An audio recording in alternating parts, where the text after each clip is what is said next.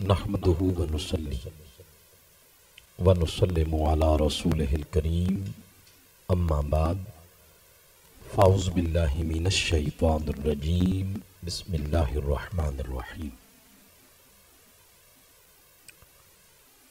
क़ाल अल्लाह तआला फ़िल क़ुरआनिल हकीम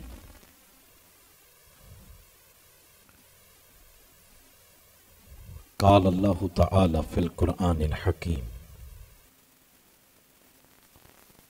वकुल रब्बि ज़िदनी इल्मा वक़ाल नबी सल्लल्लाहु अलैहि वालैहि वसल्लम खैरुकुम मन तअल्लमल कुरआन व अल्लमहु सदकल्लाहु व सदक नबीयुल करीम व रऊफुर रहीम अम्मा बाद इन्नल्लाह व मलाइकतहु युसल्लूना अलन नबी या अय्युहल्लज़ीना आमनू सल्लु अलैहि व सल्लिमू तस्लीमा अल्लाहुम्म सल्लि अला सय्यिदिना व मौलाना मुहम्मद व अला आलिहि व सहबिही व बारिक वसल्लम मिलकर सारे अहबाब नबी मुकर्रम सल्लल्लाहु अलैहि वसल्लम की बारगाह में दरूद सलाम पेश करें। असलातु वसलाम या रसूल अल्लाह सलातु वसलाम या नबी अल्लाह सलातु वसलाम या आलमीन। सलातु वसलाम या शफी अल मुस्लिमीन सलातु वसलाम या जद्दल हसन वल हुसैन। वल्हम्दुलिल्लाहि रब्बिल आलमीन इंतहाई काबिल इज़्ज़त, जुमला कायदीन तहरीक मिनहाजुल कुरान, बिलखसूस तहरीक मिनहाजुल कुरान तहसील चकवाल की जुमला क़्यादत। Minhajul Quran youth league, M S M Minhajul Quran women league, Minhajul Quran ओलमा council और पाकिस्तान अवामी तहरीक, जुमला फोरम्स के कायदीन कराम मुज़ मेहमानान जी वकार ख़वातीन हजरात आज तोहफ़ी के इलाही से एक बार फिर करम हुआ। हम सब कुरान हकीम का फ़हम हासिल करने के लिए कुरान पाक की तालीमत सुनने के लिए। मक्का महरज हाल चकवाल की सरजमीन पे इस वक्त मिनहाजुल कुरान के जेर एहतमाम मुनद होने वाला प्रोग्राम, जो दरस इरफान कुरान के नाम से मौसूम है, उसमें हम सब हाजिर हैं। आज मलक साहब नहीं नज़र आ रहे। मलक। अच्छा अच्छा। ठीक है तो आप सबका आना अल्लाह ताला कुरान फ़हमी की मुनासबत से अपनी बारगाह में कबूल फरमाए। आज हम गुफ्तु करेंगे बिलखसूस हज़रत सैदना अब्दुल कादर जीलानी, गौसल आज़म सरकार की मुनासबत से। कुछ हिस्सा उस पे होगा। और कुछ जो मैंने आयात, आयत करीमा और आकाम का फरमान मैंने पढ़ा है, उसकी रोशनी में इन आज की गुफ्तु करेंगे।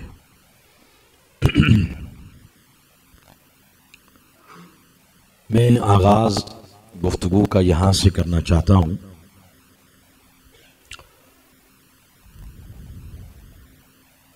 पूरी दुनिया में इंसानों में से जो सबसे ज़्यादा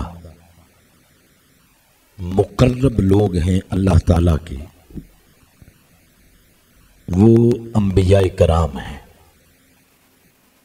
सबसे ज़्यादा मुकर्रब लोग।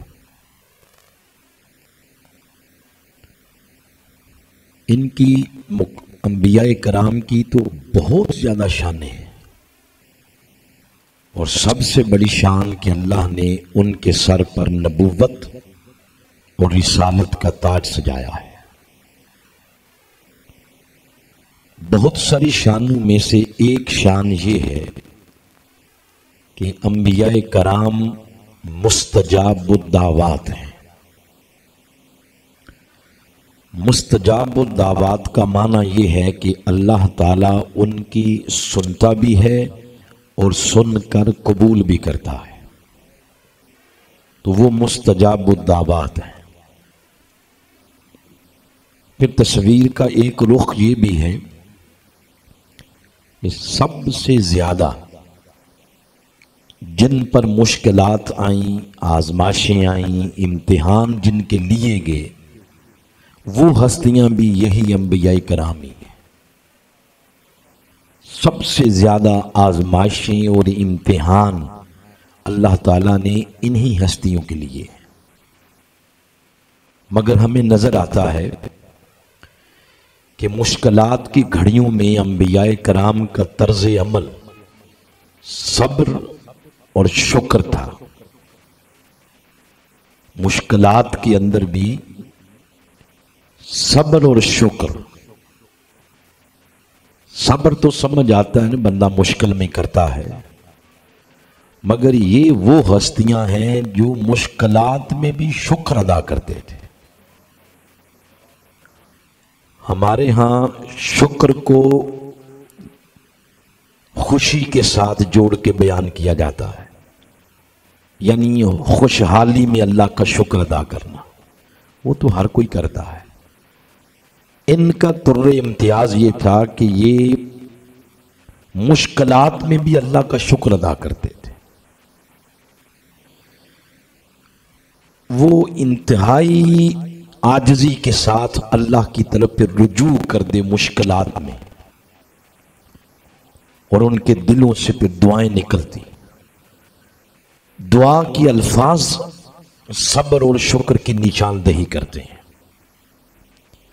कि सख्त से सख्त हालात में भी उनका आज़म और उनका एतकाद और उनका एतमाद अल्लाह की ज़ात पर कमाल दर्जे का होता था।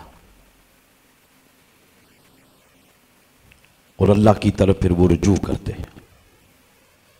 ये जो हमारी, हमारा जो इंसानी मुआशरा है, आप इसमें तजर्बा कर लें। हमारे इंसानी मुआशरे में ये है कि कोई किसी से मांग ले तो अगला गुस्सा करता है कि इसने मुझसे मांगा क्यों है? आप किसी से चार पैसे मांग के देख लें, आपका फ़ोन सुनना ही छोड़ देगा वो।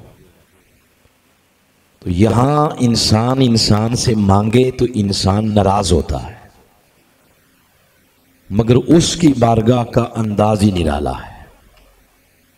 उसकी बारगाह का अंदाज ये है कि उससे अगर कोई ना मांगे तो वो तब नाराज़ होता है। उसकी बारगाह में हर लम्हा, हर लहजा जोली फिला के अब खड़े रहे तो वो खुश होता है कि बंदे ने मुझसे मांगा है। तो गोया उसकी जो रहमत है वो तलाश करती रहती है। कहाँ, किस नुक्कर में बैठ के कोई दस्ते सवाल मेरी बारगाह में दराज किए हुए हैं? यही अम्बिया कराम का तुर्र इम्तियाज़ था कि वो सख्त से सख्त हालात में भी रुजू करते थे अल्लाह की तरफ़। इसलिए मैंने ये बात आपके सामने गोश गुजार की कि वो मुस्तजाबुद्दावात थे। अल्लाह उनकी सुनता भी था और सुनने के बाद बोलिए कबूल भी करता था।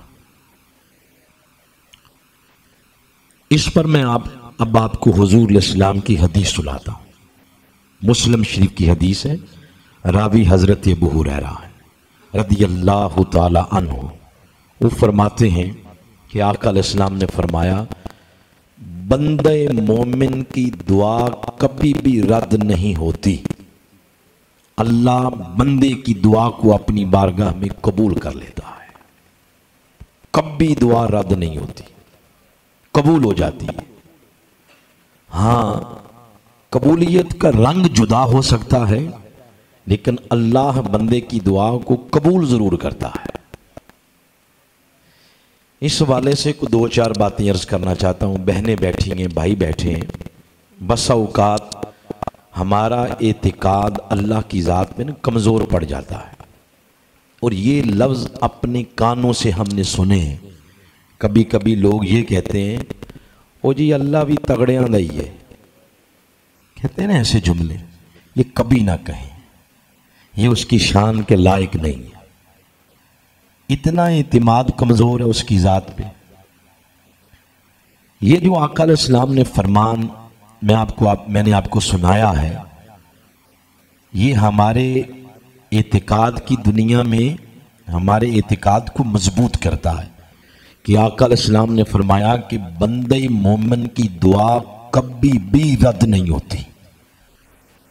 बस मांगने का अंदाज, मांगने का सलीका आना चाहिए। मोहतरम चौधरी नज़र साहब तशरीफ़ लाए हैं, हमारे सदर तहरीक खुश आमदेद, मैं आपको कहता हूँ। तो उसकी कबूलियत के रंग थोड़े निराले हैं। मैं जो स्टडी करके आया हूँ, वो मैं आपको बताता हूँ। आप कुरान पाक को पढ़ें, अहदीस से मुबारक का लिटरेचर खंगालें।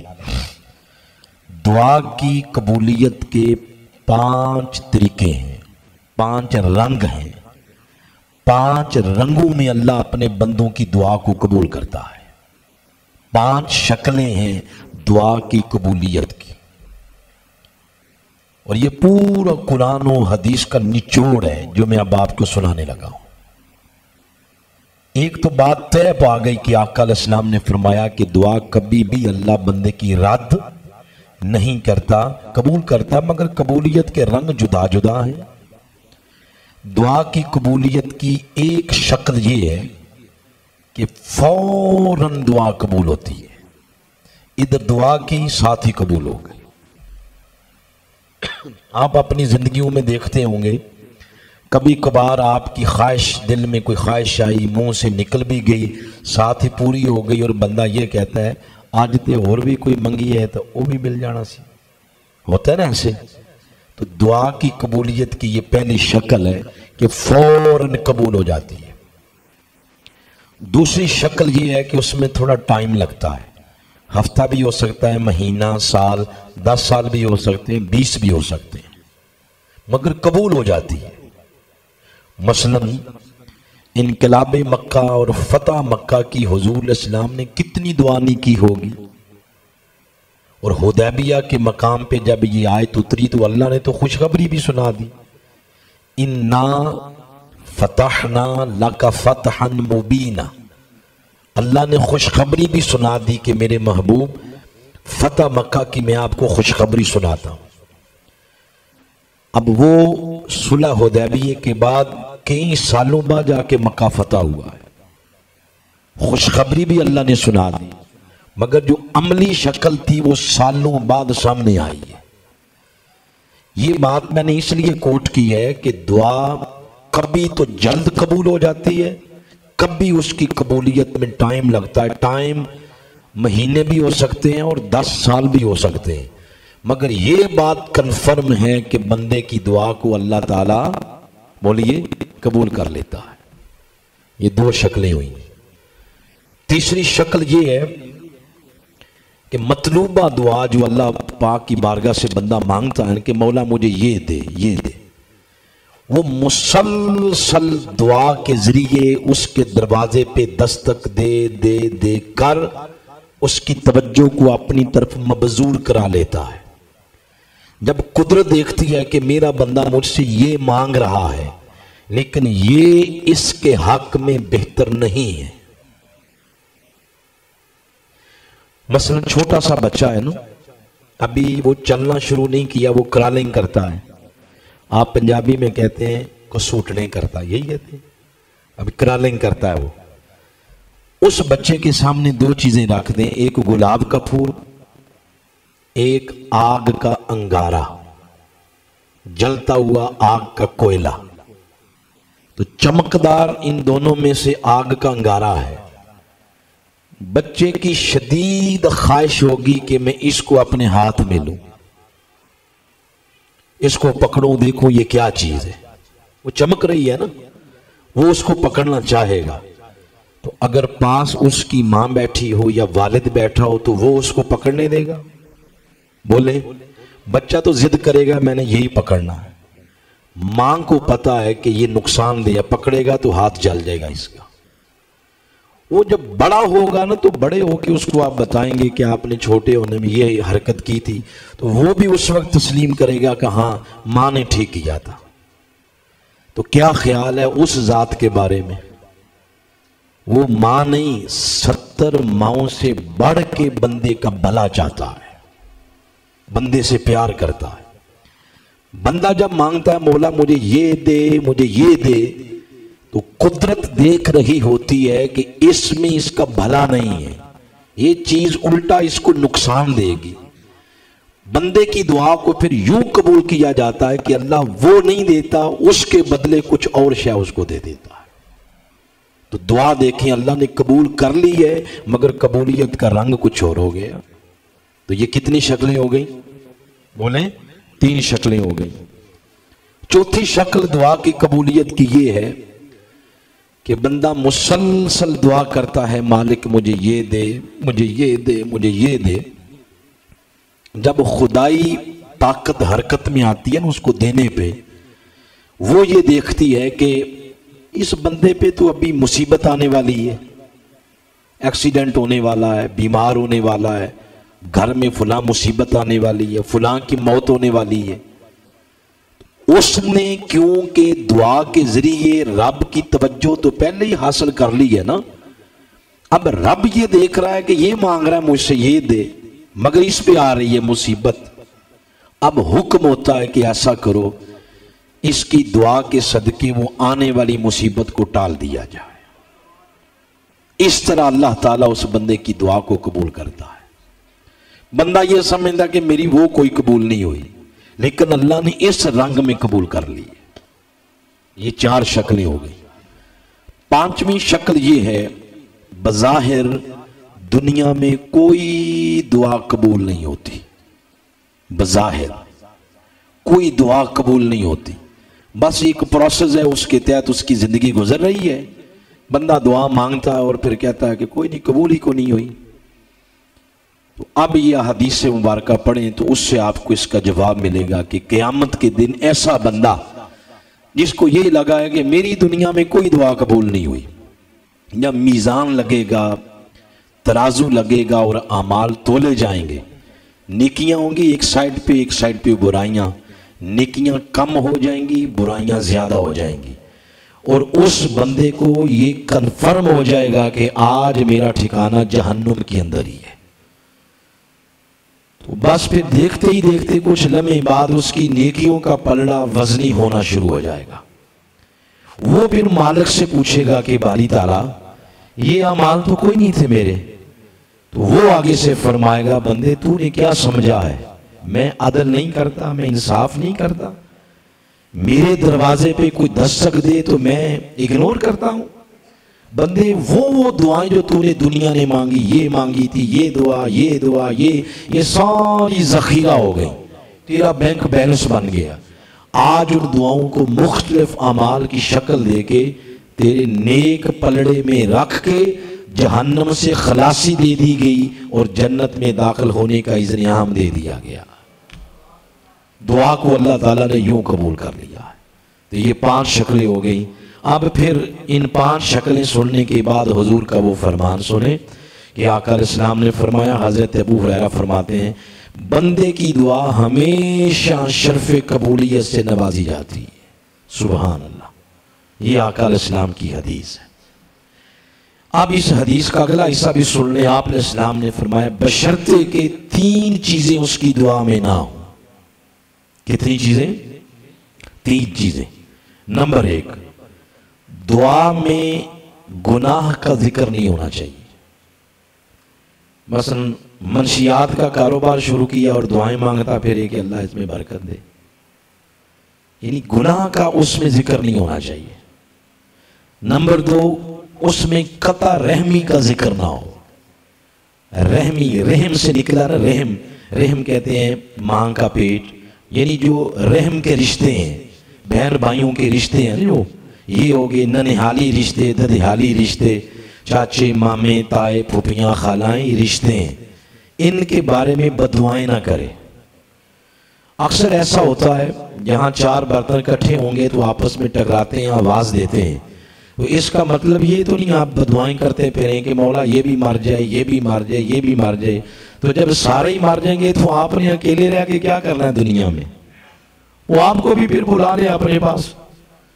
बात करने का मकसद ये है कि कता रहमी का ज़िक्र ना करे दुआ के अंदर। दो चीज़ें और तीसरा आपने इस्लाम ने फरमाया, जल्दी ना करे। इस पर सिहाबा कराम ने अर्ज़ किया, या रसूल अल्लाह सल्लल्लाहु अलैहि वसल्लम, ये जल्दी वाली बात नहीं समझ आई, इससे मुराद क्या है? तो आपने इस्लाम ने फरमाया, इससे मुराद ये है कि एक दो दफ़ा दुआ की, उसके बाद उसने दुआ करना ही छोड़ दी। इस तस्वुर के साथ कि लगता है अल्लाह ने को नहीं कबूल करनी। ये एक जल्दी हो गई। ये तीन चीज़ें दुआ के अंदर नहीं होनी चाहिए। ऐसा हो ही नहीं सकता कि बंदा दुआ करे और रब अपने बंदे की दुआ को कबूल ना करे। ये हदीस मुबारक यहाँ मुकम्मल हो गई। मैं आगे, जैसे आगे बढ़ना चाहता हूँ, वो ये कि अल्लाह ताला ने कुरान कुरान हकीम में कुछ मकबूल बंदों की मकबूल दुआइन का ज़िक्र किया है। मकबूल बंदों की मकबूल दुआएँ। आप अल्लाह के इस कर्म पे ना खुश नहीं हुए जो मैंने अब बात की है। देखिए, उसने इतनी मेहरबानी की है, उसने गुर भी सिखा दिए कि ये वो गुर है, जिसके साथ तुम दुआ करोगे, मैं कबूल करूँगा। हत्या कि उसने वो अल्फाज भी बता दिए जो माजी में किसी वक्त अल्लाह के किसी बरगजीदा नबी ने एक खास कैफियत में जाके उन अल्फाज के साथ दुआ की। अल्लाह ने उन अल्फाज को शरफ कबूलियत से नवाजा। वो अल्फाज भी बता दिए, कैफियत बता दी, वो गुण सिखा दी इस पर मैं आपको फिर कुछ अंबिया कराम की दुआएँ सुनाना चाहता हूँ। बातें समझ आ रही? आज गाड़ी की रफ्तार यही रहेगी। धीरे अंदाज से, धीमे अंदाज से। जेड़ा गुड़ की खिट्टी नाल मर जाए उन्होंने जहर देनी ज़रूरी। आज इसी रफ्तार से गाड़ी चलेगी। नबियों में से पहले नबी, इंसान भी पहले और नबी भी पहले। हज़रत आदम इस्लाम की दुआ, तीन सौ साल ये दुआ करते रहे। रब्बना ज़लमना अनफुसना व इल्लम तगफिर लना व तरहमना लनकूनन्ना मिनल खासिरीन। ये सूरतुल आराफ की आयत नंबर तेईस है। तीन सौ साल। तीन सौ साल दुआ करते रहे बिल आखिर। इस दुआ के साथ जब ये जुमला ऐड हुआ, जिसके रावी हज़रत महमूद अलूसी है रावी सैदना फारूक आज़म है। जब ये जुमला इस दुआ के साथ ऐड हुआ अल्लाह मगफिरली बेजाह मोहम्मद। ए अल्लाह, मुझे मोहम्मद के सदके मुआफ कर दे तो अल्लाह ने इस दुआ को शरफ कबूलियत से नवाजा है। ये आदम इस्लाम की दुआ है। सूरज यूसुफ को पढ़े। सूरज यूसुफ की आयत नंबर तैंतीस के अंदर। यूसुफ इस्लाम की दुआ है। यूसुफ इस्लाम को जब जुलेखा ने दावत दी थी, बुराई की, यूसुफ इस्लाम ने उस पर कहा था कि, काला माज अल्लाह, मुझे अल्लाह अपनी पनाह में रखे। और ये कहने के बाद में ये दिल में ख्वाहिश मचली। दुआया तौर पे तो कुरान की जीनत बन गई। तो काला, यानी यूसुफ इस्लाम ने कहा, काला रब्बी असिजनो अहब्बु इलैया मिम्मा यदऊननी इलैहि बारी तला जिसकी तरफ़ ये मुझे बुलाना चाहती है ना, मैं उस पर जेल को और कैद खाने को तरजीह दूँगा, मुझे इससे बचा अपना किरदार बचाने की दुआ की, इज़्ज़त बचाने की दुआ की। ये करके तो फिर उन्हें रुख किया ऐसे बंद दरवाजे की तरफ़। दरवाज़ा बंद था। ताला लगा हुआ, कुंडी लगी हुई और चाबियाँ उसके पास थी। आपने पुश्त और कमर उधर कर ली जुलेखा की तरफ़ और रुख कर लिया बंद दरवाजे की तरफ़। जब अल्लाह ताला ने देखा कि मेरा पैगंबर, मेरा नबी, मेरा यूसुफ इसकी जात पे, इसका मेरी जात पे इतना इतमाद इतना तवक्ल इतना एतकाद हालाँकि इसको खबर भी है कि दरवाज़ा बंद है।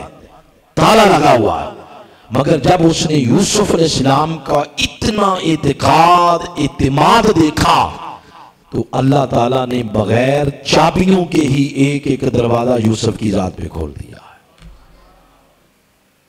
दिल से जब एक हुक निकलती है और अल्लाह की बारगाह में दुआई अंदाज में पेश होती है, और जब अपनी इज़्ज़त, अपना किरदार बचाने की इतनी फ़िक्र हो तो अल्लाह ताला बंद दरवाजे भी उस पर खोल देता है।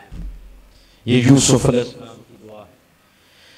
फिर कुरान पाक के अंदर और भी बड़े नबियों की दुआ इब्राहिम इस्लाम की दुआ है।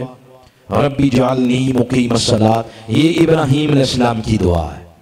वो दुआ करते थे कि बारी तला मुझे भी अपनी बारगाह में सजदा रेजी की तोफीक दे, नमाज़ कायम करने वाला बना। और मेरी औलाद को भी नमाज़ कायम करने वाला बना। यानी ये नबियों की सुन्नत है कि अपने बच्चों के लिए ये दुआ किया करें। फिर आगे ये भी अर्ज़ किया कि बारी तरह मेरे वालदेन की भी बख्शिश फरमा।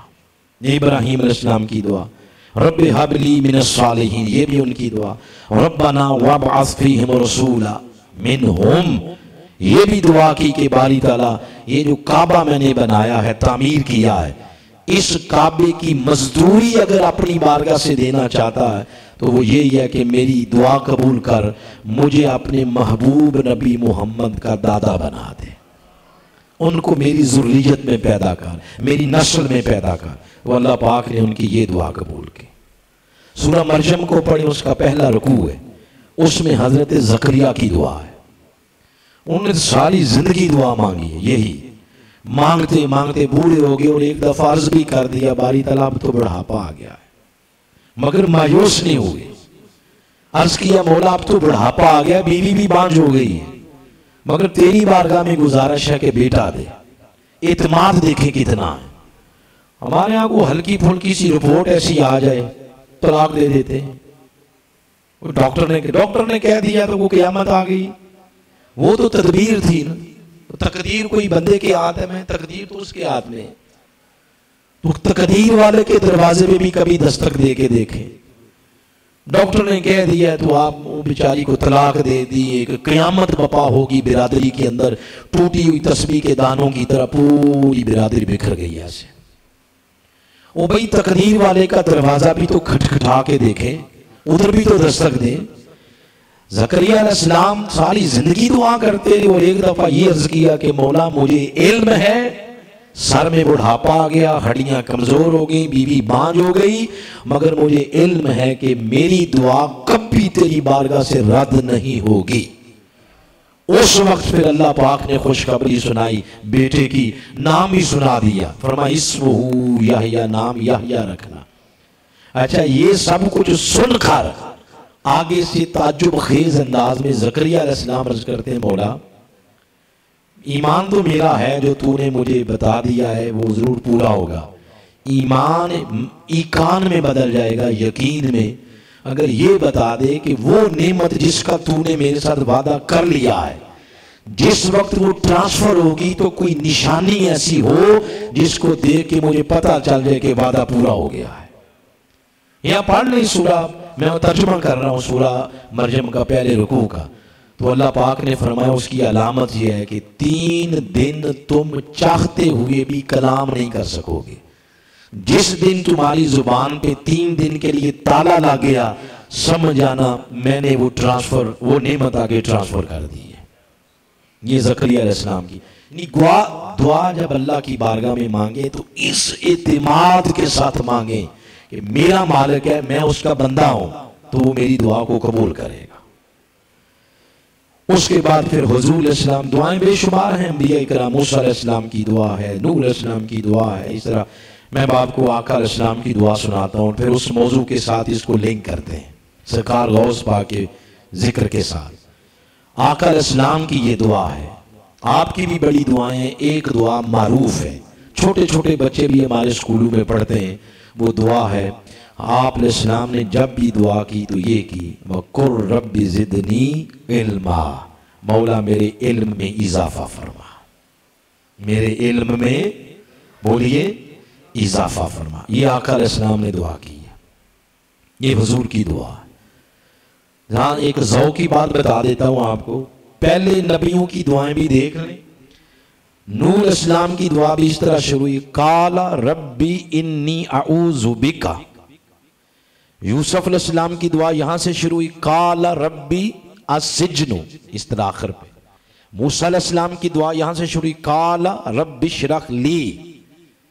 तो आप पहले नबियों की दुआएँ पढ़ें, हर नबी की दुआ काला से शुरू हुई। काला, यानी आदम ने कहा काला नू ने कहा, काला मूसा ने कहा, काला यूसुफ ने कहा, हर नबी की दुआ से पहले लफ्ज काला है। आकल इस्लाम ही वो वाहिद है, जिनकी दुआ से पहले काला नहीं, जिनकी दुआ से पहले लफ्ज कुल। क्या है बोले? कुल। काला, इसका माना है, उसने कहा। यानी उस नबी ने कहा, और कुल का माना है कि खुदा अपने महबूब से फरमा रहा है, कुल मेरे महबूब, मैं आपसे कहता हूँ कि सब मांगते हैं। आप भी कुछ मांग लें मेरी बारगाह से। मतलब ये कि हर नबी अल्लाह की बारगाह से अपनी ख्वाहिश और अपनी आरज़ू से माँगता है। मगर मुस्तफ़ा जब भी मांगते हैं तो अल्लाह की ख्वाहिश से मांगते हैं। ये फ़र्क है सबका नबियों की दुआओं में और हजूर सलाम की दुआ में। तो आप सलाम ने अल्लाह की बारगाह से मांगा कि मौला मुझे इल्म अता फरमा। ये इल्म की फजीलत यहाँ से आ गई। अब इल्म की तरकीब देने के लिए, अब देखें ये सामने कुरान पाक पड़ा हुआ है। मरूफ आम मशहूर यही है कि इसका नाम है कुरान। आम मारूफ यही है कि इसका नाम क्या है? बोले कुरान। मगर इसका नाम नहीं है कुरान। कुरान इसकी सिफत है। लफ्ज कुरान का माना है बार बार बार पढ़ी जाने वाली किताब। ये कुरान का माना लफ्ज कुरान का।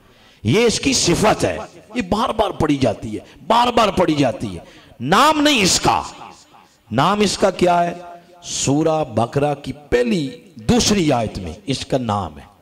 वो क्या है? अलिफ, लाम, मीम, ये पहली आयत हो गई, आगे नाम आ गया। फरमाया, जालिकल किताब, इसका नाम है अल किताब। बोले, क्या नाम है? ये इसका नाम है कुरान पाक का। अल किताब। अब देख ले, ये कलाम है अल्लाह का। अल्लाह ने अपने कलाम को जो नाम दिया, अल्लाह ने अपने कलाम को जो उन्वान दिया वो कोई और नाम उनवान टाइटल नहीं दिया। अपने कलाम का नाम उसने अल किताब रखा है।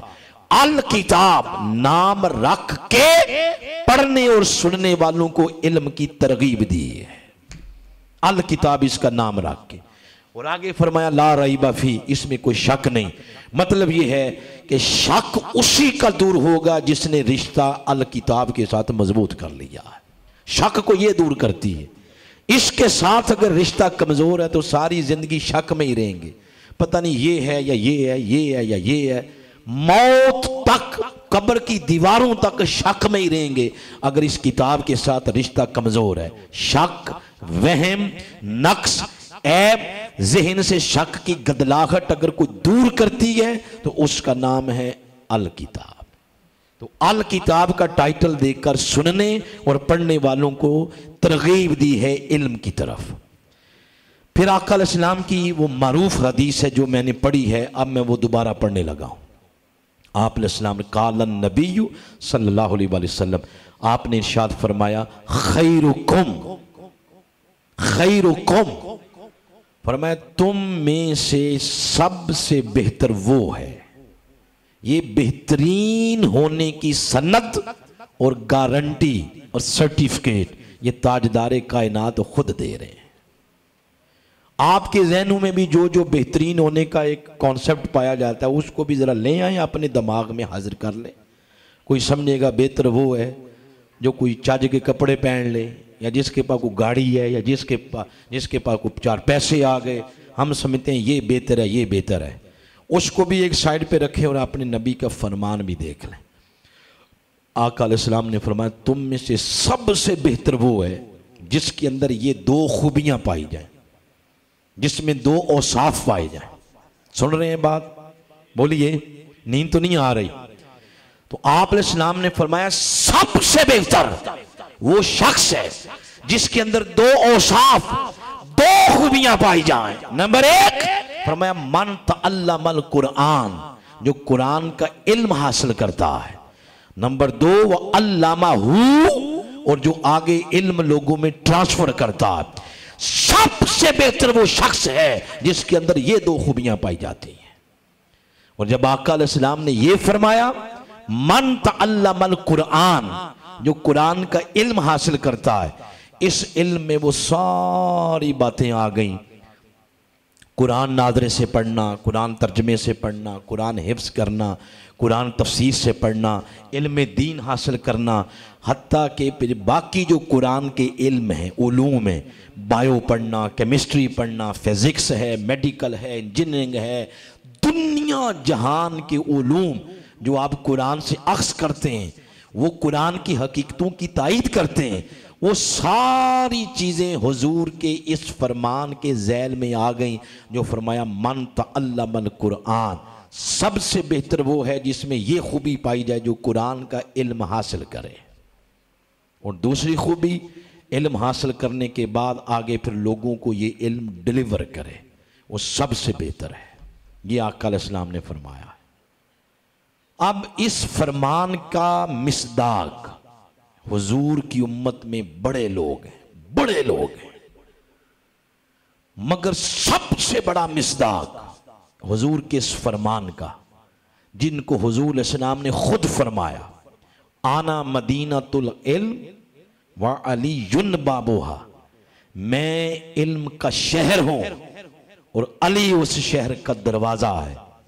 हजूर के इस फरमान का सबसे बड़ा मिसदाक तो मौला कायनात की ज़ात अब जिसने भी इस शहर का विज़िट करना है, वो दरवाजे से गुजर के जाएगा।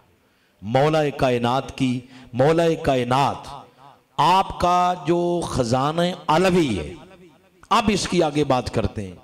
फिर दुनिया में आगे बटा और तकसीम हुआ। फिर बड़े बड़े लोग हैं। जहाँ राज़ी जैसे लोग, गजाली जैसे लोग, ये लोग आए हैं, वहाँ इबन सीना जैसे लोग हैं। वहाँ अलफाराबी जैसे लोग हैं, ये बड़े बड़े साइंसदान हैं, मुस्लिम साइंसदान। इनको भी खैरात मिली है यही। आप देखें जो मौला कायनात के बेटे थे, हज़रत इमाम जाफ़र सादिक जब उनकी किताबों को बड़े बड़े गैर मुस्लिम साइंसदान भी पढ़ते हैं, अंगोश्त बदंदा रह जाते हैं कि सबसे बड़ा साइंसदान तो ये यानी हज़रत इमाम जाफ़र सादिक है। ये सारा ख़जान अलवी है। तो बड़े बड़े लोग इस फरमान का मिसदाक हैं। मगर जिस हस्ती का ज़िक्र आज हम स्पेसिफिक करने लगे हैं स्पेशल ज़िक्र करने लगे हैं, वो शाही जीला सैदना अब्दुल कादर जीलानी, गौसल आज़म सरकार, आपकी ज़िंदगी को जब आप देखते हैं तो आपकी ज़िंदगी हजूर के इस फरमान का मिसदाक है। आपकी ज़िंदगी के दो हिस्से हैं। अगर आपकी उम्र मुबारक अस्सी साल से ज़्यादा हुई है तो आपकी ज़िंदगी के दो हिस्से हैं। एक को पच्चीस, छब्बीस साल तक, एक फिर उससे आगे, आखिरी सांस तक। ये जो दो हिस्से हैं आपकी ज़िंदगी के, पहला हिस्सा मन तो अल्लाह मल कुरान का मिसदाक नज़र आता है, और अगला हिस्सा, आखिरी सांस तक, अल्लामा हू का मिसदाक नज़र आता है। यानी आपकी ज़िंदगी का एक हिस्सा, इल्म हासिल करते करते गुजरा, और ज़िंदगी का अगला सारा हिस्सा वो इल्म उम्मत में ट्रांसफ़र करते और मुंतकिल करते करते गुजरा है। और हमारे बच्चे उस वक्त इल्म के प्रोसेस में शामिल होते हैं जब चार पाँच साल उम्र होगी, आपने प्ले ग्रुप में दाखिल करवा दिया। लेकिन सरकार गौश पाक, वो पदाशी ही यानी मांग की गोद से, वो अखलाक, वो इल्म, वो जहद, वो वरा, वो तकवा, जो उनकी माँ के पास जा, जो बाप के पास था आपकी पदाइश से ही खदो खाल तौर अतवार देख के पता चलता था कि अल्लाह ने वो सारी चीज़ें पदाइशी ही इनके अंदर ट्रांसफ़र कर दी उसके बाद फिर आपने जो इब्तदाई उलूम है, वो फिर अपने इलाके जीलान, गीलान में ही पढ़े, इब्तदाई उलूम। वो पढ़ने के बाद फिर चौदह, पंद्रह साल की उम्र में मेरे ख्याल में गालिबन यही उम्र थी। तो आगे पीछे हो सकता है, लेकिन ये है कि आला तालीम के लिए फिर आपने बगदाद का रुख किया। हमारे बच्चे जैसे आला, आप चकबाल बैठे हैं तो आला के जो एजुकेशन के लिए मिनहाज यूनिवर्सिटी चले गए, इस्लामाबाद चले गए, कोई कहते हैं, चलो हम यूके चले जाते हैं, कनाडा चले जाते हैं। आला एजुकेशन के लिए आप भी बड़े शहरों का रुख करते हैं।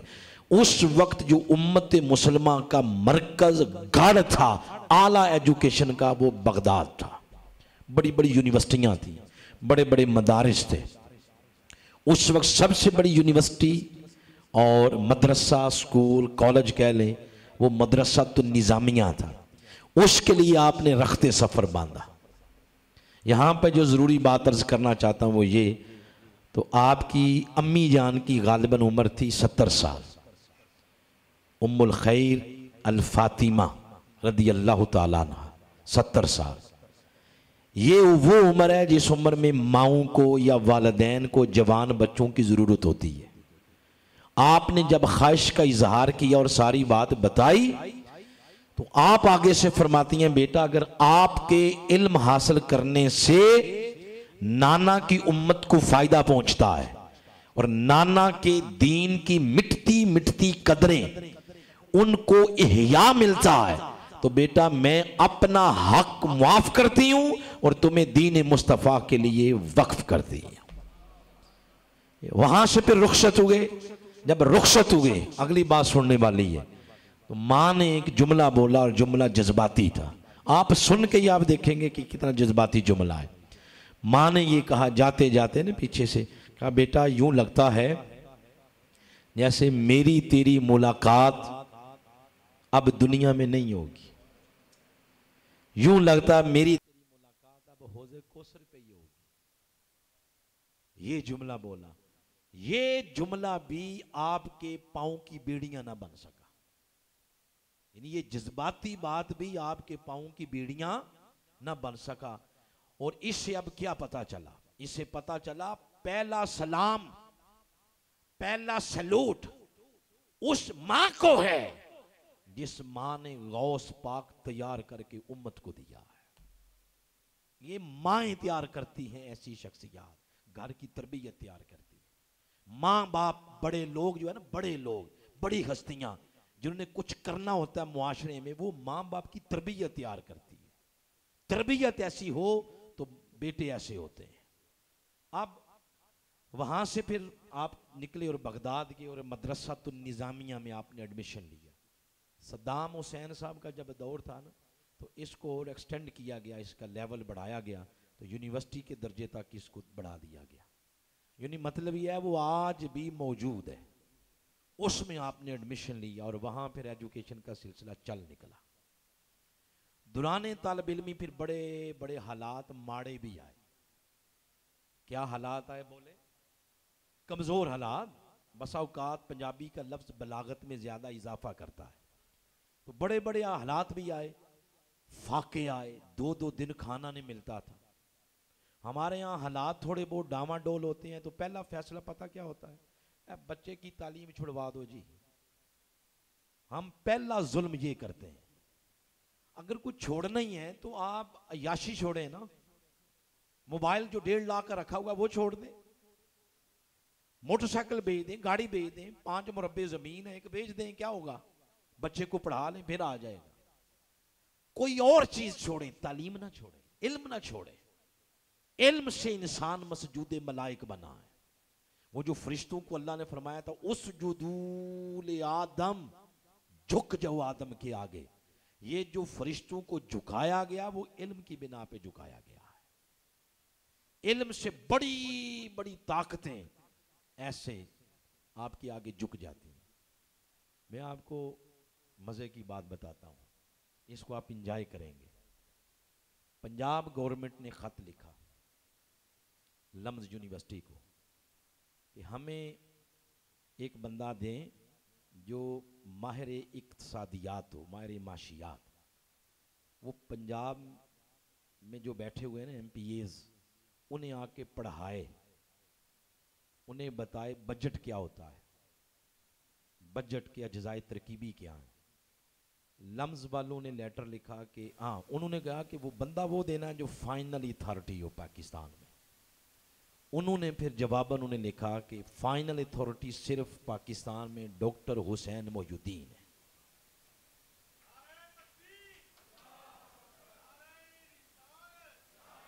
उन्होंने आगे से पूछा कि इनके अलावा कोई नहीं है कोई? तारुल कादरी साहब के साहबजादे के अलावा कोई नहीं? उन्होंने कहा हैं तो सही, मगर आपने फाइनल अथॉरिटी कहा है तो फाइनल अथॉरिटी यही है। दुनिया पूरी में मुस्लिम, गैर मुस्लिम जो माहिर इकसादियात है ना, वो टोटल को दर्जन सारे बनते हैं। उनमें सफ़े अव्वल में नाम, एक पाकिस्तान का वाहिद नाम, वो डॉक्टर हुसैन मोहुद्दीन है। मतलब क्या है? वो जो मैंने आपको बताया ना कि अल्लाह ने फरमाया, उस जुदूल आदम, फरिश्तों को कहा कि झुक जो आदम के आगे, वो झुके तो इल्म की बिना पे। आदम की बर्तरी इल्म की बिना पे आज दुनिया मजबूर हो गई है। ताहिर कादरी के कदमों में इल्म हासिल करने के लिए क्यों? इल्म सबसे बड़ी ताकत है। सबसे बड़ी ताकत इल्म है। शेखुल इस्लाम ने फैक्ट्रियाँ असलों की नहीं खोली। शेखुल इस्लाम ने फैक्ट्रियाँ और कंपनियाँ लगाई हैं तो वो इल्म की कंपनियाँ लगाई हैं। इल्म की फैक्ट्रियाँ लगाई हैं। बात जो अर्ज़ करना चाहता हूँ वो ये कि फिर सरकार गौस पा के ऐसे ऐसे हालात भी आए कि फाके। एक दफ़ा ऐसा हुआ कि दो चार दिन हो गए, पाकट मनी ख़त्म हो गई। भूख थी बड़ी शदीद की, शदीद। तो वहाँ से आपका जो आबाई इलाका था, एक काफिला चला बगदाद आ रहा था। तो आपके जो घर वाले थे, अम्मी थे या जो भी थे, उन्होंने चंद पैसे पॉकेट मनी के तौर पे किसी बंदे को दिए कि अब्दुल कादिर हमारे बेटे को दे देना। वो बंदा आया और तलाश करता रहा, अब्दुल कादिर कौन है इतफाक ऐसा हुआ कि ना मिले। सात, आठ दिन गुजर गए। एक दिन ऐसा आया कि उसकी अपना जेब खर्च भी खत्म हो गया। उसने उन्हीं पैसों का ले लिया खाना। खाना खाने बैठा और पास से उस दिन सरकार गौस पाक गुजरे। उसकी तरफ़ देख रहे थे, वो उनकी तरफ़ देख रहा तो उसने कहा कि आए, खाना खा ले। आप भी बैठ गए। खाना खाते ही उसने पूछा, नाम क्या आपका? आपने फरमाया, नाम है अब्दुल कादिर। जो ही अब्दुल कादिर बताया तो उसके कान खड़े हो गए। फरमाया, कहाँ से हो? जब अपने इलाके का नाम बताया, उसने कहा, अल्लाह अकबर। जिन्हें ढूंढते थे आसमानों में, ज़मीनों में। तो मैं तो आपको इतने दिनों से तलाश करता रहा हूँ। आपके घर वालों ने कुछ पॉकेट मनी दी थी आपकी। तलाश करता रहूँ, आपको आप नहीं मिले। आज तो अपने पैसे भी ख़त्म हो गए हैं। तो ये जो खाना मैं खाने लगा हूँ, ये मेरे पैसों का नहीं, ये आपके ही पैसों का है। जब आपने ये सुना तो फरमाया, ये खाना भी आपका और वो जो मेरी पॉकेट मनी आपकी जेब में पड़ी हुई है, जाओ, वो भी मैंने आपको ही दी है। अपनी ज़रूरतें पूरी कर लो। देख लें, घर की तरबियत कहाँ जाके बोल रही है? ये घर की तरबियत है, ये माँ की तरबियत है, ये खानदानी तरबियत है। यानी अपनी तालब इलमी के दौर में अपना जेब खर्च उससे सखावत यूँ हो रही है कि जो ज़रूरतमंद लोग हैं, उनको पूरी की पूरी पॉकेट मनी दी जा रही है। ये घर की तरबियत। इसलिए कहते हैं घर की तरबियत कब्र की दीवारों तक जाती है। तो ये फिर आपका जब ये प्रोसेस ख़त्म हुआ मन तल्लमल कुरान ये ख़त्म हुआ अब पढ़ाने का सिलसिला आया। पहला दिन पहला दिन।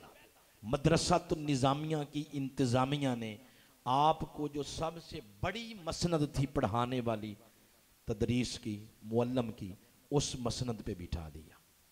पहला दिन तो कैलूला किया आपने। कैलूला कहते हैं, दोपहर के वक्त सोना। तो सोए तो आका सलाम तशरीफ़ ले आए, ख्वाब में। और साथ मौला कायनात अलीमरतज़ा थे। आका इस्लाम ने फरमाया, अब्दुल कादिर, अब आप कलाम किया करो, वाज किया करो। तो आपने आगे से अर्ज़ किया, हुजूर, नाना जान, ये जो बगदाद है, ये फसीख अरबी बोलने वाले, बलीग अरबी बोलने वाले, इन फुसहा की मौजूदगी में कि मैं क्या बोलूँ? तो आप इस्लाम ने फरमाया, ज़रा मुँह खोलो। मुँह खोला, सात मरतबा अपना लुआबे दहन सरकार मुँह, सरकार गौस पाक के मुँह में आका इस्लाम ने डाला। फिर मौला कायनात ने भी छः मरतबा अपना लुआबे दहन डाला। एक मरतबा कम इसलिए रखा कि हुजूर के अमल की बराबरी ना हो जाए। अदब मेंटेन रहे। तो उसके बाद फिर जब आँख खुली तो सीना, जाहरी, बातनी सब उलूम के साथ ठाठे मार रहा था। फिर ज़ुबान ऐसे चली, ऐसा फाहम खुला ऐसा शर सदर मिला कि साल हा साल से जिन इस की क्लासेस, मदरसे, बगदाद की सरजमीन पे चल रहे थे, जब सरकार गौश पा के इल्म का समंदर बहा और वो सूरज सरकार गौश पा के इल्म का जब तिलु हुआ तो बड़े बड़े चिराग सरकार गौश पा के इल्म के सूरज की आगे उनकी रोशनी मांद पड़ गई। देखते ही देखते फिर क्लास में इजाफा हो गया। और तेरह मजमून पढ़ाते थे आप। कितने? पीरियड की बात नहीं हो रही। आधे आधे घंटे का पीरियड। ना मजमून की बात हो रही। नमाज़ फजर से लेकर नमाज़ ईशा तक। बस अवकात रात का हिस्सा भी। और जो तफसीर आप पढ़ाते थे मजमून वो ये थे। तफसीर उसूल तफसीर हदीस उसूल हदीस फ़िक उसूल फ़िक। इल्मुल-अदब पढ़ाते इल्मुल-मंतिक पढ़ाते, फ़लसफ़ा पढ़ाते, मानी, बयान इल्मुल-फ़लक इल्मुल-अखलाक तसव्वुफ़ इल्मुल-तौक़ीत इल्मुल-मनाजिर इल्मुल-नहव इल्मुल-सर्फ़ इल्मुल-किरात ये तेरह मजमून थे जिन पे दस्तरस थी, ग्रिप थी और ये पढ़ाते थे। इससे क्या पता चला? इससे पता चला कि गौस पाक झोंपड़ी में बैठ के तावीज दागा करने वाले बाबे का नाम नहीं है। दम दरूद करने वाले बाबे का नाम नहीं है। गौश पाक मेरे आका की उम्मत में इल्म की सनत का नाम है। गौश पाक मेरे आका की उम्मत में इल्म की अथॉरिटी का नाम है। इल्म का नाम है गौश पाक। ये पढ़ाते थे आप तेरा मजमून। आज तो ये, आज का ये सारा धंधा बन गया और चक्कर बन गया सारा। सरकार गौस पाक मेरे आका इस्लाम की उम्मत में इल्म की सनद है। तेरह मजमून आप रोज पढ़ाते थे। और फिर ये था कि अब बड़ी ख़ास बात बताने लगा हूँ आपको। फिर ये हुआ कि धूम मच गई दूर दूर तक। क्लास बड़ी हो गई। तो मुरीदीन में भी इजाफा हो गया। मुरीदीन में इजाफा, फिर दूर दूर तक मुरीदीन हल्के इरादत फैल गया। अब मुरीदीन की डिमांड थी कि हमें भी पढ़ाया करें, हमें भी कुछ टाइम दें। इस पर फिर आपने एक नज़म बनाया।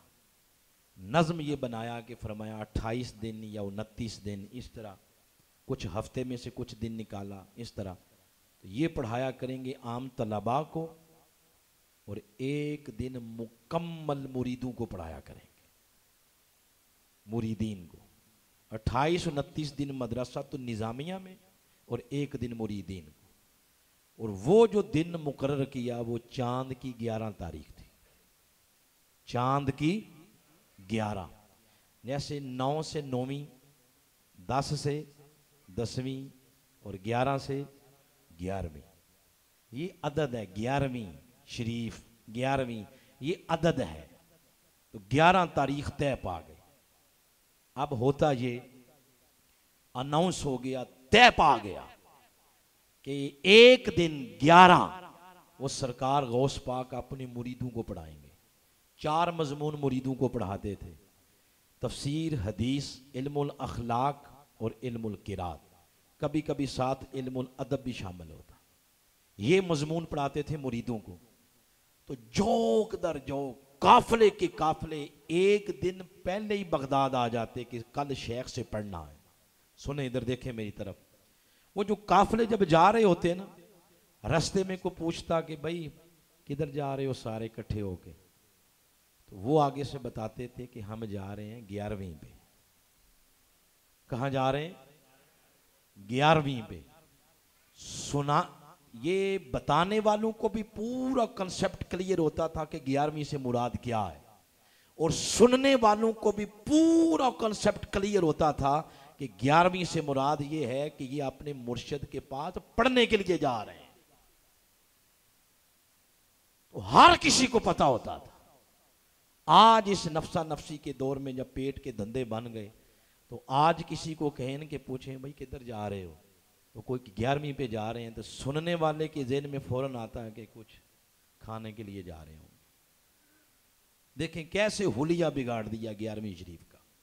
ग्यारहवीं तो असल में यह थी कि वो सरकार गौस पाक के पास पढ़ने के लिए आते थे। अब वो खाने वाले भी बात आपको बताता हूँ, ये खाना कहाँ से आया? जब बसाउकात मजमा सत्तर सत्तर हज़ार तक भी पहुँच आता तो वो जो रात को सफ़र करके आते थे, उन्हें नाश्ता नहीं करना होता था। दोपहर का खाना, कोई शाम का खाना। उसमें फिर ये इंतज़ाम किया गया कि लोग मिलजुल कर उनके खाने का अहतमाम करते। लोग उसमें हिस्सा डाल दे, मेरा भी डालो, मेरा भी डालो, मेरा। हती कि इस ज़िमन में मैंने ये भी पढ़ा है, इमाम इबन कुदामा जो मुरीद हैं सरकार गौश पाक के, उनके शागिर्द हैं इमाम इबन तैमिया। जो दूसरे मसलक वाले लोग इमाम इबन तैमिया को बहुत मानते हैं। इमाम इबन तैमिया जैसा बंदा भी, वो जो लंगर पकता था ना, पढ़ने वालों का उसमें हिस्सा बेचते थे जिसको आप ग्यारहवीं शरीफ कहते हैं। तो असल ग्यारहवीं शरीफ ये थी, पढ़ना पढ़ाना। और बाकी उनके लिए फिर ज़्यादा ज़रूरत है तो खाना पकता था। और आप अगर हमारी बात पूछें तो हम तो उसको भी शिफा वाला ही कहते हैं। अपने अंदर की बात यही है। तो खैर बात अर्ज़ करने का मतलब यह है कि यूँ फिर आपका वो इल्म का दरिया यूँ बह रहा था। अब हुआ ये कि कई जवान ऐसे थे जो शागिर्द किसी और उस्ताज के और मुरीद सरकार गौस पाक ये हमारा असलाफ। यहाँ किसी एक बंदे का मुरीद या या तालब इलम किसी और के पास चला जाए वो कहते हैं इस, इसको फारग ही कर दो। ये फिर जैसे पंजाबी का सहारा लेते ना, हमको समझाने नहीं कहते, मैं इतने थोड़ सी तो उधर गए जड़ा। यानी हमारे यहाँ इस तरह, ये जर्फ हमारा कमज़ोर है, थोड़ा है। किसी के पास कोई चला गया तो हम हम इस तरह गुस्से में हो जाते हैं। इबन जोजी जैसा बंदा भी सरकार गौस पाक का हम असर है। उनका स्टूडेंट था, इबन जोजी का स्टूडेंट। मुरीद सरकार गौस पाक का है। स्टूडेंट उनका, मुरीद किन का? सरकार गौस पाक। वो भी चाँद की ग्यारह या जिस दिन आम क्लास होती थी, वो भी मदरसे से छुट्टी लेता और कहता, सर, मुझे छुट्टी दे, मैंने शहर के पास जाना। एक दिन उसने कहा कि, सर, आप भी चले ना मेरे साथ। अलामा इबन जोजी को उसने कहा। तो अलामा इबन जोजी को कहा कि, भाई, मैं जब इन चीज़ों पे बिलीव ही नहीं करता तो मुझे क्यों कहते हो? वो भी हर महीने जब छुट्टी लेता, साथ ही कहता, सर, आप भी चलें। वो आगे से इनकार करते। एक दिन उन्हें पूछ लिया। उन्हें कहा, भाई हर महीने तुम मुझे दावत देते हो कि चलो मेरे शेख के पास, तेरा शेख देता क्या है? तो फ़ौरन आगे से उसने कहा कि मेरे शेख कुरान का दर्श देते हैं। बोले, कुरान का? वो हैरान हो गए कि ये पीरी मुरीदी वाला मामला और कुरान का दर्श ये मैच नहीं करते आपस में। तो तेरा शेख दर्श देता है? मैं हुजूर दर्श देते हैं, इसलिए तो कह रहा हूँ कभी मेरे साथ चले। उन्होंने कहा, ठीक है। अगले महीने चलूँगा, वादा रहा। अगले ही महीने उसने याद करवाया, सर, आपका वादा है, चले मेरे साथ। अब इबन जोजी भी तैयार हो गए और चल पड़े। आगे सरकार गौसपा की मजलस में बैठ गए। कार्य कुरान उठा, उसने कुरान की तिलावत की। एक ही आयत पढ़ी, सरकार गौस पाक ने बिठा दिया, और मैं बैठो।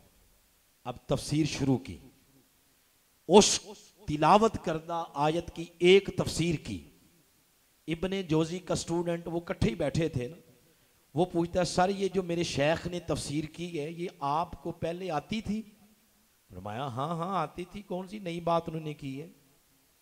फिर दूसरी तफसीर की तो कहता, सर, ये वाली? कहा, ये भी आती है। हर तफसीर पे इबन जोजी कहते, मुझे आती है, आती आती है। जब तेरह तफसीर हो गई, चौदहवीं तफसीर एक ही आयत की, सरकार गौस पाक ने की अब वो कहता है कि, सर, ये वाली। अब अलामा इबन जोजी ने कहा कि, ये पहली दफ़ा सुनी फिर पंद्रहवीं की तो कहा यह भी पहली दफ़ा सुनी फिर सोलहवीं की तो कहा यह भी पहली दफ़ा सुनी करते करते बीसवीं, पच्चीसवीं हो गई, तीस हो गई, पैंतीस हो गई। हर तफसीर पे अलामा इबन जोजी कहते कि, ये मैंने पहली दफ़ा सुनी चालीस तफासिर एक ही आयत की कर दी। और हर तफसीर पे इबन जोजी कहते ये पहली दफ़ा सुनी है। जब चालीस तफसीर मुकम्मल हुई तो ऐसे कुरान बंद करके कहा, लोगो, हाजरीन, ये सारी बातें जो मैंने की हैं, ये काल की हैं। अब हम काल से हाल की तरफ़ सफ़र करते हैं। ये कहा, उसके बाद फिर उसकी बारगाह की बात की, माल आला की बात की, उसके जलवों की बात की, उसकी बारगाह के अनवार और तजलियात की बात की हु की जब जरबे लगवाई, इब्ने जोजी होश में ना रहे। खड़े हो गए मजलस के अंदर, अपने कपड़े फाड़ फाड़ दिए। लौट पोट हो गए। जब वो कैफियत कम हुई तो कहते हैं मुद्दा यादा शेख, अपना हाथ बढ़ाएँ। शेख के हाथ में हाथ दे के नहीं इब्ने जोजी सरकार गौस पा के मुरीद हो गए। मैंने कहा कि इल्म की सनद है, सरकार गौस पाक। आकाम की उम्मत के अंदर। ये था इल्म, इल्मी आपका मकाम। और फिर हम पे जो उनका कर्म है सरकार, गौस पाक का हम पे कर्म, मिनहाजुल कुरान पे कर्म है जो। मेरे, आप यूट्यूब पे ये पढ़िए, आप मेरे शेख की ज़ुबान से सुनेंगे, ज़्यादा लुत्फ आएगा। हम पे जो कर्म है सरकार, गौस पाक का। मेरे शेख तो कभी कभी बात करते हुए यूँ कहते हैं, मेरे आका नेमत। हजूर शेखुल इस्लाम कभी कभी यूँ बात करते हैं। इस तहरीक पे कर्म ये है कि हजूर शेखुल इस्लाम फरमाते हैं, जब मुझे ख्वाब में शेख की ज़्यारत हुई तो मैंने अर्ज़ किया कि शेख हजूर गौस पाक से अर्ज़ किया कि हजूर, वो जो आपको हिस्सा मिला है ना अकालसलाम आपने लुआब दहन डाला मौला कायनात ने आपके मुँह में अपना लुआब दहन डाला है, मुझे उसमें से मेरा हिस्सा दें उसमें से। तो कहते हैं, खुदा की कसम सरकार गौस पाक ने वो भी हिस्सा हजूर शेखलाम को अता किया है। ये दुरान इतिकाफ आपने बात की थी। ये वजह कि जो बंदा सुनता है, हजूर शेखुल इस्लाम को फिर वो सुनता ही रहता है। इक्कीस अक्टूबर ये जो गुजरी है, मैं पिशावर था हफ़्ते वाले दिन। बड़े बड़े उलमा से वहाँ मुलाकात हुई। हम हज़रत प्रोफेसर डॉक्टर हसन मोईदीन का उसी दिन आपका वो दौरा ख़त्म हुआ था।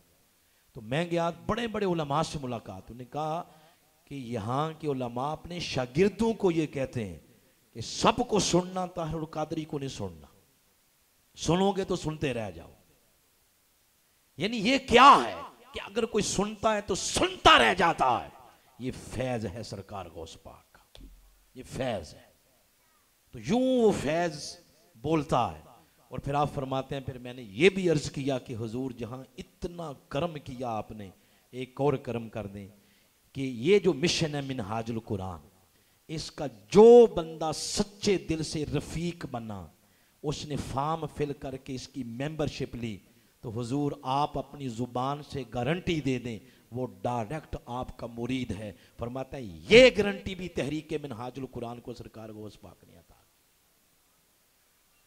अगर शक हो, रात को इस्तारा करके देख लें। इस्तारा करके देख लें आप। ये फैज भी अता किया है। मिनहाजुल कुरान का हर मेंबर जिसने फॉर्म फिल किया है, वो सरकार गौस पाक का मुरीद है। आपको भी दावत है। अब जो अभी बहनें, भाई बैठे हैं, अभी तक आपने ये फैज़ नहीं लिया तो आप भी ये फैज़, कादरी फैज़ भी ले। बाकी आप किसी और जगह मुरीद हैं, वो भी नस्बत कायम और दायम रहेगी। ये फैज़ भी ले लें। और आपको वैसे भी पता है सारे सिलसिले जाते ही सरकार गौस पाक पे हैं। आपने फरमाया नहीं, हर वली की गर्दन पर मेरा कदम है। ये हो गया। और आखिरी जिस पे मैं बात ख़त्म करने लगा हूँ, ये तो फिर सरकार गौस पाक के साथ हमारी मोहब्बत है, हमारा इश्क है। सरकार गौस पाक के साथ जो हमारा ताल्लुक है, वो दो नोयत का है। एक आपकी, आपके साथ मोहब्बत वाला, दूसरा आपकी तालीमात पर अमल पैरा होने वाला। और आपकी तालीमात में से सबसे बड़ी खूबी यह है कि आपने ज़िंदगी में कभी झूठ नहीं बोला था। सरकार गौस पाक ने कभी ज़िंदगी में झूठ नहीं बोला था। आज ये नियत करके उठें कि यहाँ से आज ये लंगर लेके जाना है। ये ग्यारहवीं शरीफ का लंगर है। चलते चलते ऐसे आपको लंगर एक थोड़ा सा और दे देता हूँ। आपसे आपने फरमाया कि चार चीज़ें बंदे का दीन तबाह कर देती हैं। जिहाबो दीन कुम बे अरबा आती चार चीज़ें बंदे का दीन तबाह कर देती हैं। अल अव्वल इन कुम ला तालमून बिमा तालमून। पहली चीज़ ये है कि बंदे के पास जितना इल्म है, उस पर अमल नहीं करता। ये अगर किसी के अंदर चीज़ पाई जाती है तो उसका दीन समझे तबाह हो गया। तो क्या यहाँ बैठे हुए हर किसी को नहीं पता कि नमाज़ पढ़नी है, सच बोलना है, हलाल खाना है, सबको पता है। अगर इस पर अमल नहीं करते तो समझे दीन तबाह हो गया। दूसरी चीज़ बसानी अन्ना कुम तामलूना बिमा ला तालामो। दूसरी चीज़ ये है कि जिसका इल्म नहीं सिरे से तो ऐसे ही जाहिलों की तरह सारी ज़िंदगी उस पर अमल करते रहे ये दो चीज़ें हो गई। और तीसरी चीज़ जिसका इल्म नहीं, ज़िंदगी में कभी कोशिश ही नहीं की कि मैं इसको सीख लूँ। दीन के कितने गोशे ऐसे हैं जिनका हमें इल्म नहीं है। नमाज़ का इल्म नहीं, वज़ू का इलम नहीं, इबादत का इलम नहीं, नकात ला के मसाइल, वरासत के मसाइल। वो बिज़नेस कैसे करना है? वो शरीयत क्या कहती है? कितने गोशे ऐसे हैं जिनका हमें इल्म नहीं। मगर हमने कभी कोशिश ही नहीं की इनको सीखने की। फरमाया ये आदत भी अगर किसी के अंदर है तो समझे उसने अपना दीन खुद ही ज़ाया कर दिया है। और आखिरी चीज़, फरमाया, ये शय भी उस बंदे का दीन ज़ाया कर देती है कि जो लोग खैर का काम कर रहे हैं, उनके रस्ते में रोड़े अटकाने, अंदर ही अंदर उनकी जड़ें काटना और उनकी टांगें खींचना। अगर किसी की रे, ये रवश है, समझ लें अपना दीन खुद ही ज़ाया कर रहे ये ये थी वो ग्यारहवीं लंगर, वो जो लोग सुनने के लिए आते थे। इस बात पे गुफ्तु ख़त्म करते हैं। यकीनन मेरा मेरा ये यकीन है कि आज की जो बातें हैं इन इसको हम अमली ज़िंदगी का हिस्सा बनाएँगे इन मैं बहनों का शुक्रिया अदा करता हूँ, भाइयों का, लेकिन आज थोड़ी सी तादाद कम है। अब तो गर्मी भी कम हो गई है। बल्कि आगे मौसम पूरी पूरी रात आप जागना चाहें, पूरी पूरी रात नफल पढ़ना चाहें, पूरी पूरी रात स्टूडेंट किताबें याद करना चाहें तो मौसम ही बड़ा प्यारा आ रहा है और तादाद में कमी है। तो बहरहाल, तादाद में कमी इधर वाक़ हुई है, इधर नहीं हुई। बहनों की तादाद में कमी हुई है। तो आप सबसे गुजारिश है, आप जब आया करें, अपने बच्चों को भी ले आया करें, अपनी बहनों को, अपने भाइयों को, सबको लाया करें। अल्लाह सबको अमल की तोफ़ी अता फ़रमाए। तहरीक मिनहाजुल कुरान, तहसील चकवाल और जुमला फोरम्स का बहुत बहुत ज़्यादा शुक्रिया। आज का जो प्रोग्राम है, ये पहले भी आया मेरे पास। आज का जो प्रोग्राम है, ये बतौर ख़ास। असनाद आ अच्छा तो ये आप उधर कर लो। मैं ये एक मिनट है। आज का जो प्रोग्राम है ये बतौर ख़ास बरए ईसाल सवाब है, मोहम्मद अशरफ अगराल मरहूम, जो वालद मोहतरम हैं एजाज हुसैन अगराल साहब के। फिर बाज़ ख़ान अगराल मरहूम, ये दादा जान हैं उनके, यानी एजाज साहब के। नुमान एजाज मरहूम, ये बेटे हैं एजाज हुसैन अगरार साहब के। तो इन तमाम मरहूमिन के लिए दुआ है, अल्लाह इस पूरे प्रोग्राम का सवाब उनकी रूह को पहुँचाए और उनको हसनैन करीमैन के कदमैन शरीफैन में अल्लाह ताला जगह अता फरमाए